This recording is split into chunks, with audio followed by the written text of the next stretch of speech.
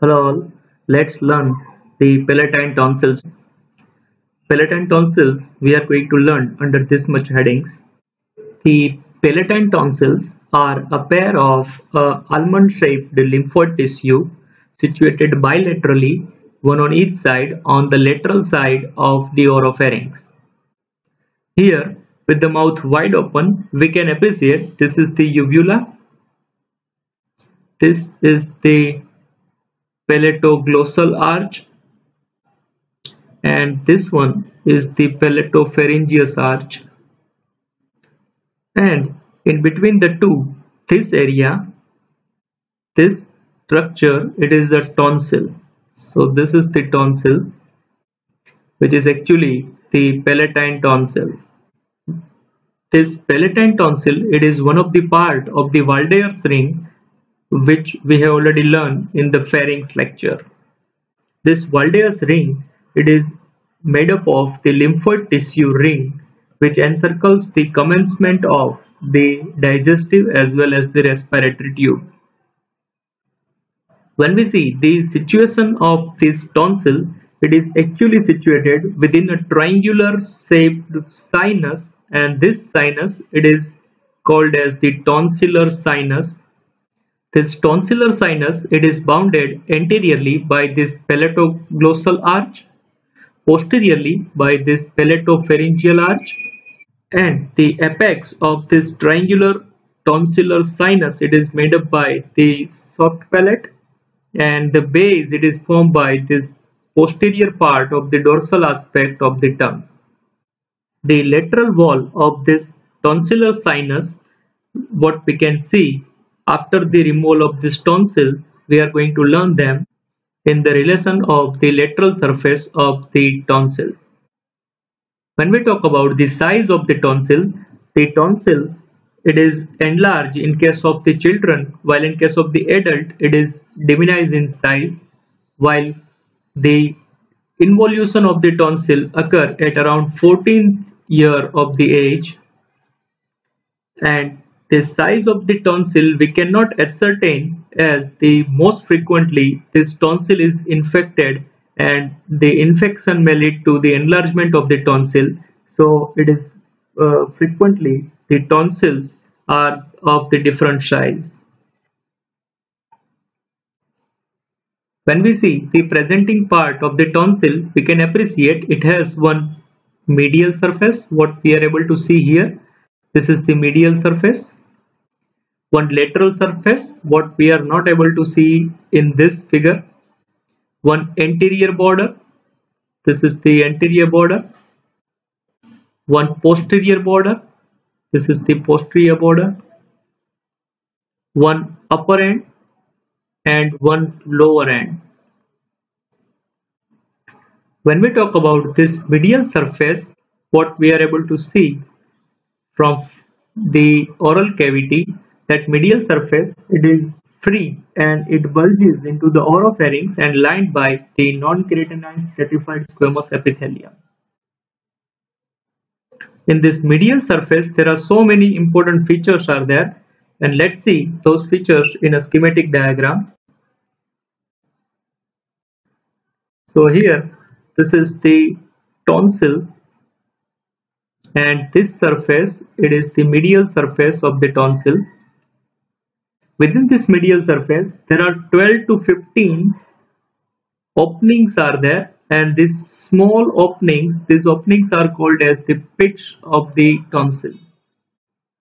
And these openings, it leads to one tubular extension and this tubular extension, it is called as a tonsillar cleft. In 40% of the individual, one of the tonsillar cleft it is very deep. And this tonsillar cleft it is called as the intratonsillar cleft. This intratonsillar cleft is present in 40 percentage of individuals which may lead to the lodgement of the food particle within this deep intratonsillar cleft. And this is the cause of the infection of the tonsil which is called as the tonsillitis for the embryological fold of the tonsil, let's see the real image of the tonsil. Here at the upper end one fibrous tissue it is attached with the soft palate and this is a semilunar in shape and it is only present in embryological life and this semilunar fold it is called as the plica semilunaris. While at the lower end of the palatine tonsil some fibrous tissue fold it is attached with the dorsal surface of the tongue and this fibrous tissue which is present at the lower end of the palatoglossal arch and this is triangular in shape and this triangular fibrous attachment at the lower end of the palatoglossal arch with the tongue that is called as plica triangularis. Both these embryological folds they are going to replaced by the lymphoid tissue after the birth.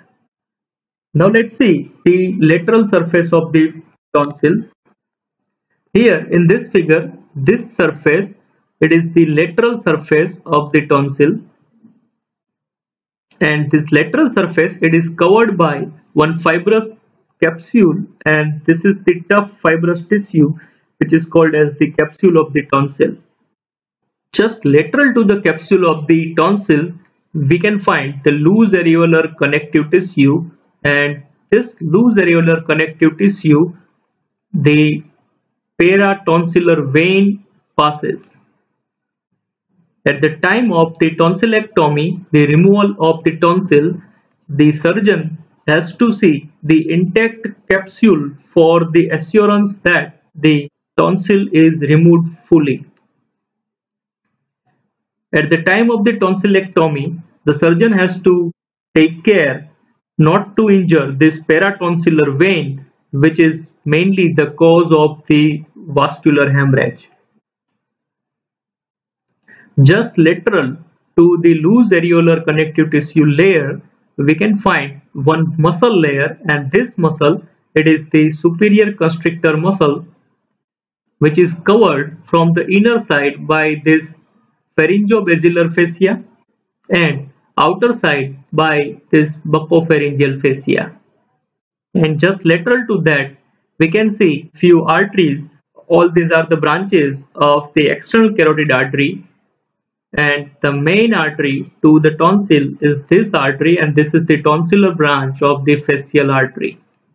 Along with this tonsillar branch of the facial artery, we can see the ascending palatine branch from the facial artery, as well as we can see this ascending pharyngeal artery. Along with all these structures, on the lateral surface, we can see around 2.5 centimeter lateral and behind to this lateral surface of the tonsil we find the carotid sheath and most important content of this carotid sheath is this internal carotid artery. Along with all the structures we find this glossopharyngeal nerve as well as this styloglossus muscle as in relation to the lateral surface of the tonsil. So all these structures are going to form the tonsillar bed. Now when we see the anterior border of this tonsil, it is related with the palatoglossal arch and which contains the palatoglossus muscle. While the posterior border of this tonsil, it is related to the palatopharyngeus arch and which contains the underlying palatopharyngeus muscle. Both this palatoglossus muscle and palatopharyngeus muscle, they are attached with the fibrous capsule of the tonsil. The upper end of this palatine tonsil it is related to the soft palate while the lower end of the palatine tonsil it is attached with the dorsal surface of the tongue with the fibrous septum through the capsule and this fibrous septum it is called as the suspensory ligament of the tonsil. So here in this figure this is the capsule of the tonsil and this attachment with the lower end of the tonsil and tongue that is called as the suspensory ligament of the tonsil. Now let's see the factors which are responsible for keeping the tonsil in position the first and most important factor which is responsible for keeping the tonsil in position that is the suspensory ligament of the tonsil.